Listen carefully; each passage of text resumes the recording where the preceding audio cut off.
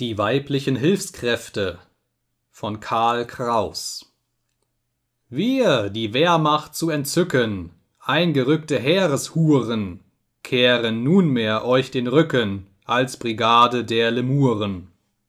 Opfernd heldischem Verlangen, angesteckt von eurem Mute, Rosen blühen uns auf den Wangen und die Syphilis im Blute.